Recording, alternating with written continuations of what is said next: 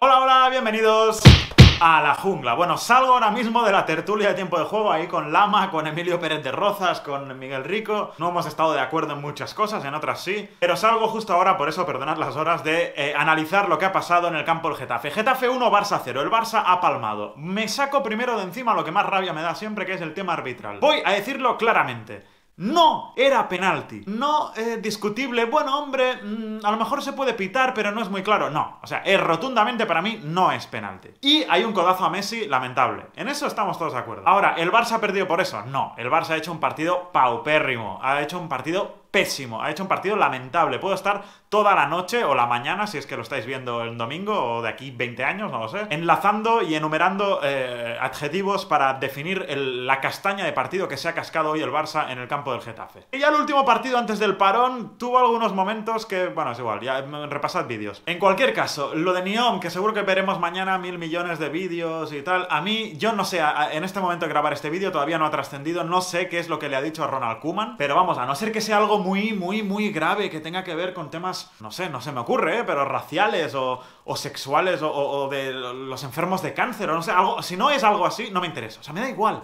Me da igual que se insulten o que le haya dicho a Ansu Fati, no sé qué, que provoque. Son cosas de. Las cosas que hace el Getafe, que todo el mundo en Barcelona, sobre todo, se lleva las manos a la cabeza, con Potse, Me da igual, que el problema no es el Getafe, que el problema son los árbitros.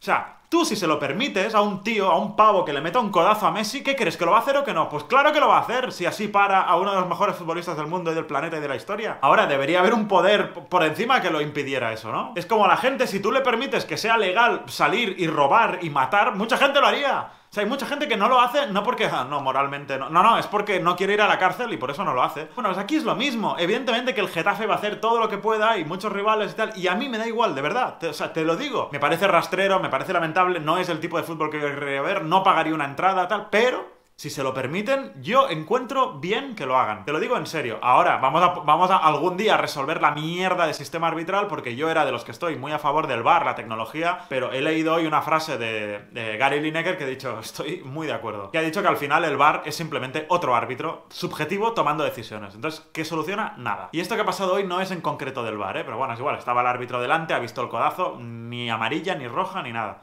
Ya está, me quito eso de encima porque el Barça no ha perdido por eso. El Barça ha perdido porque ha jugado muy mal a fútbol.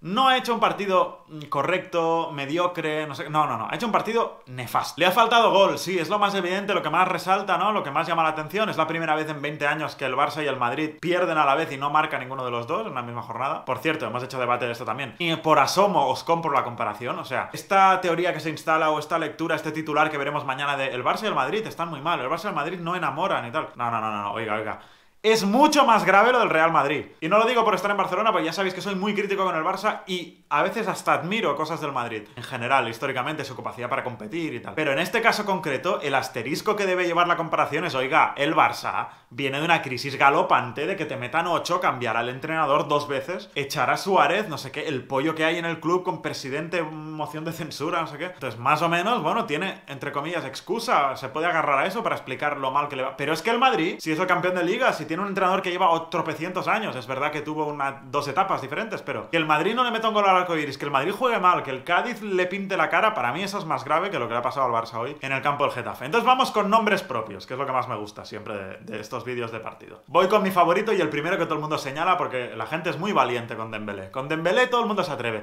Minuto 2 de partido, ya Twitter estaban ya matando a Dembélé y no sé qué, que ha perdido 82 balones. vamos a ser claros, eh, sinceros, honestos y directos. El partido de Dembélé es malo. Dembélé no ha jugado bien, no ha estado bien. Y es verdad, ha perdido muchos balones. También te digo, no ha sido de los peores, ¿eh? Y ha ganado carreras. Y lo ha intentado, como mínimo ha intentado cosas. Es de los pocos que intenta irse en el uno contra uno y tal. Y cuando lo han quitado del campo, cuando lo han retirado del campo, ¿quién ha intentado algún... ¿Quién, ha desequilibrado cuando se ha ido Dembélé? Nadie. Decidme jugadores, excepto Pedri, que ha sido el mejor, y a lo mejor un poquito de Piqué, pero bueno. ¿Quién ha jugado mejor que Dembélé hoy? Nadie, nadie.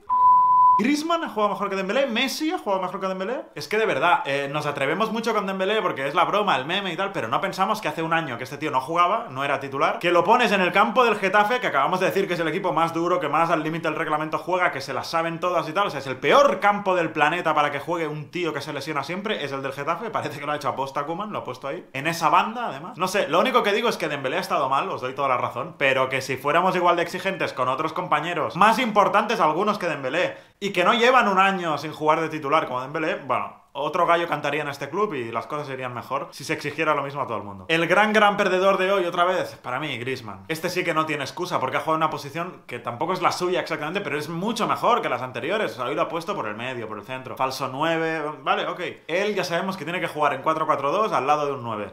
¿No existe? Bueno, mm, como mínimo le han dado eso y tampoco ha estado bien. Y hay partidos que yo le excuso pero digo, hostia, le veo que corre, eh, se pelea, trabaja, horizontal, vertical, profundidad, no sé qué, y no le ven. Pero hoy no ha sido de esos partidos. Hoy ha sido de otro tipo de partidos que también hace Griezmann muchos, que es desaparezco. Y ya está. Y no, no participo, no hago nada, tengo una ocasión y la fallo y tal. Entonces, bueno, la semana la ha ganado Kuman. Eh, este duelo Kuman-Grisman, de declaraciones, de si de Shams me pone donde yo puedo jugar, no sé qué. Kuman le responde y tal. Bueno, vamos a ver el partido a ver qué pasa. Y el partido mm, ha ganado Kuman, porque le ha puesto en un sitio mejor para él y ha estado peor. O sea, no hay mucho más que rascar ahí. Dejadme en los comentarios cómo lo veis, pero es así. Luego tenemos Messi. Yo creo que es muy pronto, acaba de empezar esto y, debe tener el acumulado de todo lo que ha pasado este verano y los ocho y no han descansado y tal. Pero le están lloviendo ya muchos palos. O sea, ya hoy en la tertulia en la que he estado se ha dicho que Messi ya no resuelve, que no es el de antes, que no sé qué.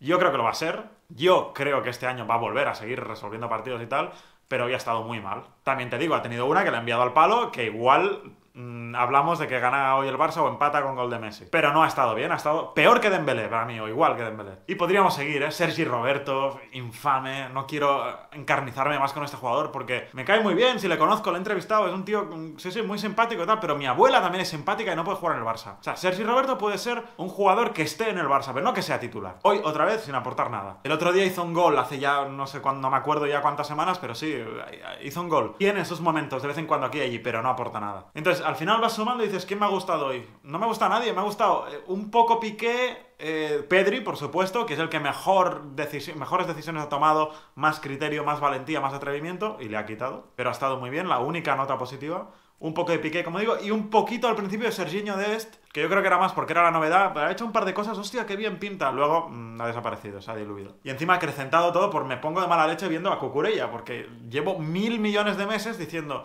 hostia, Cucurella debería jugar en el Barça, debería jugar en el Barça, ¿por qué no te lo quedas? ¿Por qué no lo recuperas? Como si Santis Ploura, ni Flowers. Así que el resumen es que el arbitraje ha estado mal, sí, pero el Barça ha estado peor que le falta un killer, que le falta gol, que ese hombre, teóricamente, creo que podría ser Ansu Fati, pero las defensas cada vez más van a ir a por él, ya le conocen, ya no es como antes. No sé, va a costar, va a costar. El único consuelo del Barça, es, o sea, es un poco al revés del año pasado. El único consuelo del Barça es que el Madrid es lamentable. Perdonad, no lo digo con... O sea, el Barça es lamentable, pero el Madrid más y debería serlo menos por la situación de uno y otro que ya hemos explicado. Eh, comentádmelo todo, dejádmelo todo en la caja de comentarios, que estáis de acuerdo, en que no, suscribíos al canal y nos vemos como siempre en la jungla.